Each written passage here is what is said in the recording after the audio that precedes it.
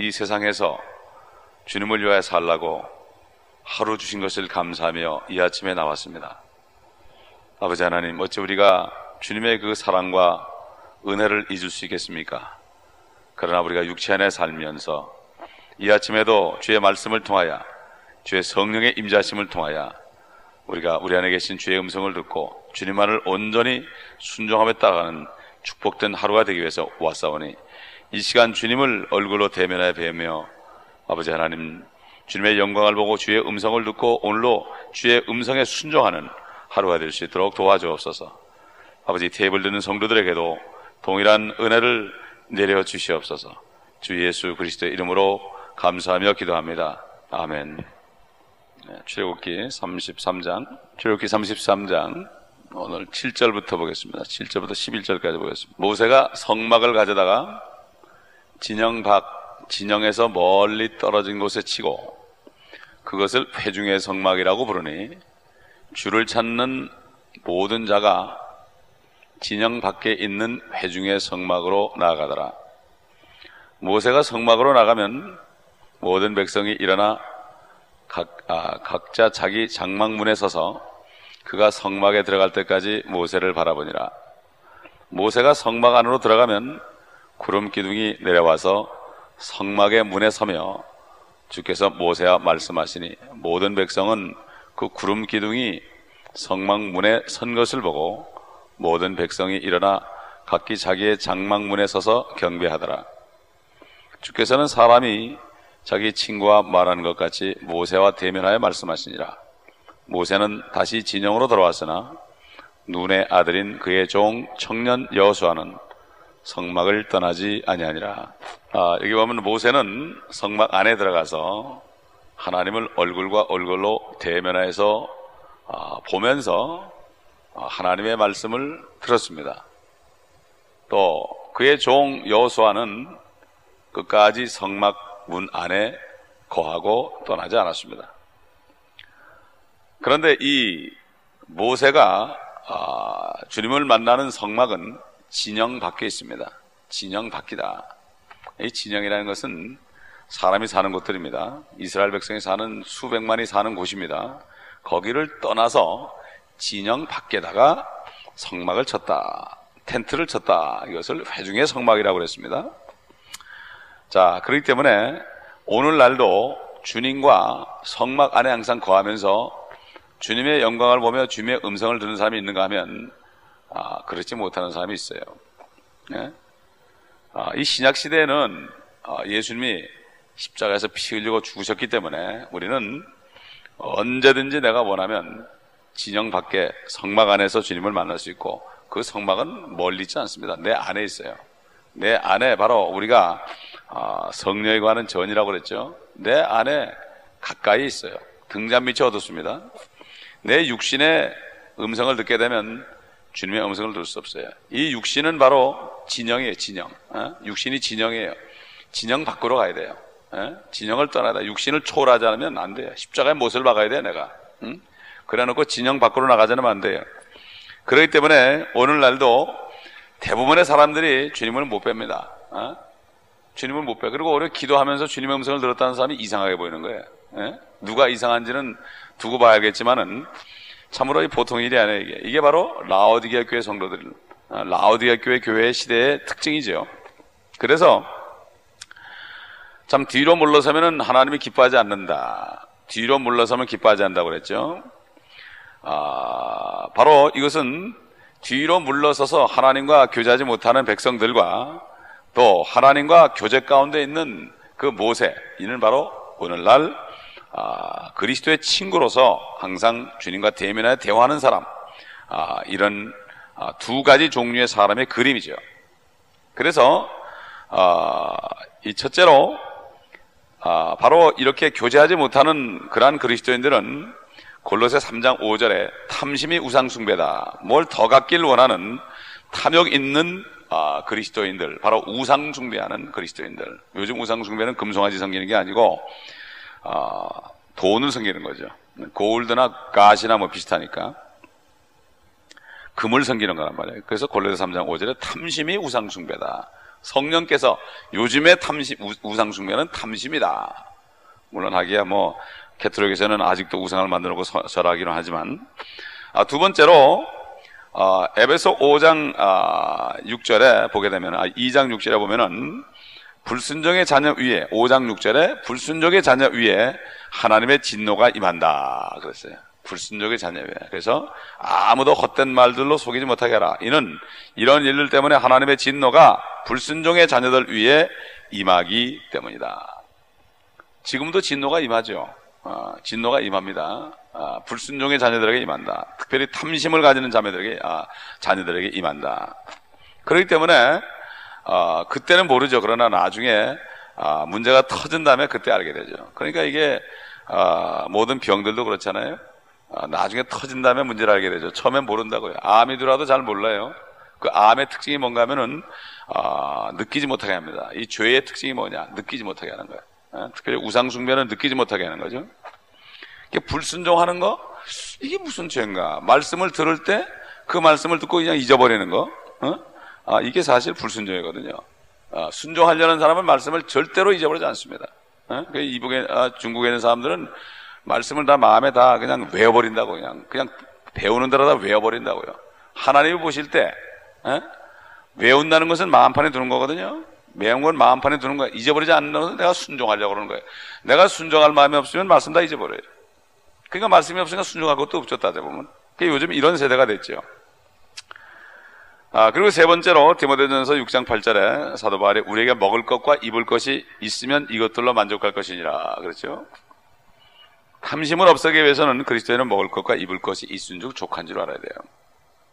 우리 주님은 집도 없었습니다. 우리 주님은 나무 밑에서 주무시기도 하고 산에서 주무시기도 하고 아, 때로는 나사로의 집에 가기도 하고 아, 그래 가도 거기서 또 그저 음, 아, 마르다는 예수님 보고 왜 그냥 말씀 가르치고 앉았냐고 말이지 마리아를 좀 일 좀 시키게 좀 부려먹게 해달라고 막 원망을 하고 그랬다고요. 그러니까 주님은 참 머리 둘 곳이 없었어요. 예? 여우도 굴이 있고 공중의 새도 깃들 곳이 있지만 나는 머리 둘 곳이 없다. 머리 둘 곳이 없다. 아, 이렇게 말씀했죠. 자, 네 번째로 어, 여기 율법이 선포되고 하나님이 두렵게 나타나니까 호랩산 거기에서 그저 어, 모든 장신구를 다 떼어버렸습니다. 이게 뭡니까? 하나님의 법이 죄를 깨닫게 하죠. 예? 하나님의 법이 죄를 깨닫기 때문에 그 당시에 이스라엘 민족들을 완전히 벗겨버렸습니다. 그 인간적인 장신구를 싹 벗겨버렸습니다. 그래서 사도 바울은 율법이 영적이고 거룩하며 의로우며 좋은 것이라고 그랬죠. 음, 로마서 7장 14절 16절 보면 나오죠. 사도 바울이 처음에 구원받고서도 율법 때문에 어기 얽매여서 자기 죄가 자꾸 드러나니까 고통을 받았지만 사실은 그러한 고통은 좋은 거죠. 세상 사람들의 고통은 사망이죠. 그러나 그리스도인의 고통과 핍박은 이거는 바로 아, 생명이죠, 생명. 예? 아, 그렇기 때문에 이게 아, 영어로 얘기해서 세상 사람들의 고통은 bitter고 bitter 쓴 것이고 하나님의 백성들이 겪는 고통은 better예 better 더 좋아지는 거예요. 예? 이 고통을 겪음으로 내가 영적으로 더 좋아지는 거예요. 예? 이게 그리스도인들의 고통과 세상 사람의 고통이 다르죠.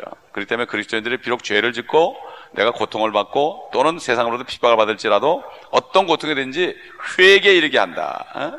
믿는 자의 고통은 회개에 이르래서 더 좋게 한다. 더 빼러라. 그런데 믿지 않는 사람들의 고통은 점점 점점 사막으로 빠져들어가는 고통이다. 삐더다. 삐러. 영어로 쓴 것이다.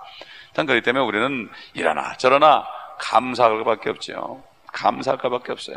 그러니까 기쁜 일 있으면 찬송하고 슬픈 일 있으면 생각하라, 기도하라 이렇게 얘기했죠. 다섯 번째로 아, 교제 중에 있는 성도들은 모세처럼 친구처럼 주님을 대면해 만나죠. 어? 근데 그렇게 하기 위해서는 진영 밖으로 나가야 됩니다. 진영 밖으로 나가야 된다. 그래서 히브리서 13장에 보면은 여기에 관한 말씀이 있죠. 진영 밖으로 나가야 된다. 히브리서 13장에 아, 사도바를 통해서 분명히 말씀했습니다. 13장 10절에 보면은 우리에게 한 재단이 있는데 성막을 섬기는 자들은 이곳에서 나온 것을 먹을 권한이 없느니라. 이는 죄를 위해 대제사장이 성소에 그 피를 가지고 들어가는 그 짐승들의 몸은 진영 밖에서 태우기 때문이라. 그런즉 예수께서도 자신의 피로써 사람들을 거룩하게 하시려고 성문 밖에서 고난을 받으셨느니라. 그러므로 우리도 그의 수치를 짊어지고 진영 밖에 있는 그에게로 나아가자. 사람들이 많은 곳에 있으면 물들게 돼 있죠. 항상 우리는 영적으로 그들 밖에 나가서 수치스럽지만은 밖에 나가서 주님과 함께 있는 그 진영 밖으로 나가라. 여기에는 우리에게 영관 도성이 없는 거로 우리는 장차 올 도성을 찾고 있노라. 그랬어요. 예? 참 우리 도성에 사는 지금 특히 시리 큰 대도시에 사는 사람들이야말로 정말 우리가 꼭 드려야 되는 말이죠. 아, 그 11, 아, 11서 11장에도 아, 38절 보면 세상은 그들이 살만한 데가 못 되었으므로 그들은 광야와 산속과 동굴과 토굴에서 유리하였느니라. 왜 그랬습니까? 진영 밖으로 나간 거예요. 어? 진영 안에 있으면 물이 들어버리는 거야. 물이 들어버리는 거예요. 어? 그렇기 때문에 요즘도 참 그리스도인들은 홀라 홀로 산에 가서 기도하는 사람도 있고 홀로 문 닫아놓고 정말 주님과 몇 시간씩 교제하는 사람도 있고 이것을 볼 수 있는데 이것은 그 교제하는 사람만 알지 다른 사람이 볼 땐 뭐 몇 시간씩 기도할 게 그렇게 있느냐 아니 세상에 사랑하는 애인을 만나면 몇 시간이 휙휙 지나가잖아요 이걸 모르는 거죠 그래서 예수님께서는 아, 요한복음 15장에 친구가 친구를 위하여 목숨을 버리면 더 큰 사랑이 없나니 너희는 내 친구라 그랬어요 제자들을 행한 말이죠 제자들 제자들이 뭐죠? 제자들은 주님을 100% 따라가는 사람이 제자들이에요. 세상을 버리고 주님을 따라가는 사람들이에요. 주님의 말씀에 절대 복종하는 사람이 제자입니다. 뭐 교회에서 제자 훈련 프로그램 받다고 제자 되는 게 아니에요. 예? 주님이 가라 그러면 가고 오라면 오고 어? 있으라면 있고 주님이 명령하는 대로 감사하는 감사하고 옛날 에스겔 보고 네 부인이 내일 죽을 텐데 넌 울면 안 된다. 그래도 그러니까 알았으면 안 울고 어? 이게 하나님의 종들 제자들의 아, 주님의 친구 어? 친구의 바로 아, 삶이죠. 바로 모세 같은 사람이에요. 그래서 우리도 수치를 짊어지고 진영 밖에 있는 그에게로 나가야 됩니다. 어? 세상 사람들에게 인기를 달라면 안 됩니다. 육신적인 그리스도에게 인기를 안 됩니다. 항상 밖으로 나가서 항상 지금도 고통당하고 계시는 주님, 우리 죄 때문에 고통당하는 주님을 항상 진영 밖에서 만나야 됩니다. 네? 다른 사람들은 장막문에서 그냥 구경하고 있는 거예요. 네? 많은 사람이 예배 구경하러 옵니다. 정말 예배 시간에 주님 만난 사람 몇 명이나 될까? 어? 보면 알죠? 일곱 번째로 구름 기둥은 아, 성령의 모형이죠. 이게 구름 기둥 가운데서 주님 만나셨는데 성령의 모형이죠. 그래서 우리는 성령을 통하여서만 주님과 교제할 수 있죠. 그래서 고린도전서 2장에 하나님을 사랑하는 자를 위해서 예배한 것은 눈으로 볼 수 없고 귀로 들을 수도 없고 마음속에 생각 속에 들어온 적도 없다. 그러나 아, 성령께서 하나님의 깊은 곳이라도 통달하시느니라. 깊은 기도를 할 때 성령 안에 진영 밖에 나가서 내 육신을 다 초월해서 정말 성령 안에 들어갈 때, 내 영이 하늘에 올라갈 때, 예? 그럴 때에 아, 우리는 주님의 음성을 들을 수 있고 주님의 임재를 경험합니다. 예배 드릴 때도 그래요. 내가 와서 육신 때문에 마음에 이 찌푸듯한 것 때문에 확 그러다 그걸 이기고 끝까지 기도하고 찬송하면 보면 알아요. 주일날 보면 여기서 기도하는 사람 별로 없어. 예배 시간 전에 막 기도하면서 주님께 강구하는 사람 없어 없어. 근데 혼자 여기서 꿀 앉아 기도하지. 예? 정말 주님을 만나려는 사람은요 기도해. 몇 시간들 보세요. 보면 꼭 무릎 꿇고 기도한다고. 맥주 다른 유카탄 데 가도 꼭 들어오면은 재단에 나와서 항상 무릎 꿇고 들어가. 아, 멕시코 가면 우리 저, 유, 아, 유앱산도 형제들도 꼭 우리가 가면은 예배 시간에 꼭 나와서 무릎 꿇고 기도하잖아요. 이게 경험한 사람들의 자세요. 이게. 예, 한 재단이 있다 그랬어요. 한 재단. 예? 우리를 바쳐야 되죠. 그렇기 때문에 성령의 깊은 성령 안에 깊이 들어가 주의 임재를 경험할 수 있죠. 그래야만 주의 임재가 있어야만 주님의 음성을 들으시고 또 임재가 있을 때 내가 말하게 되지 주님이 안 계신데 어떻게 말을 해? 허공에 대고. 그러니까 기도가 안 되는 거예요 그러니까. 땅에 떨어지는 거예요. 형식적 기도를 하게 되는 거예요. 그러면 안 되죠. 깊은 주님 안에 들어가야 성령 안에 들어가야 돼. 모세는 나왔지만 여호수아는 성막을 떠나지 아니하더라 그랬어요. 여호수아가 누굽니까? 바로 예수 그리스도의 모형이에요 우리 주님은 항상 우리 안에 계십니다 항상 안 떠나고 계신단 말이에요 우리가 원하면 언제나 교제할 수 있어요 응? 그렇기 때문에 아, 이 하나님께서 모세와 대면하신 것은 옛날 아브라함에게도 말씀하셨고 야곱에게도 말씀하셨고 옛날 선지자들에게 말씀하신 것처럼 지금도 당연히 주님이 안에 계셔. 그때는 주님이 안에 계시지 않았죠.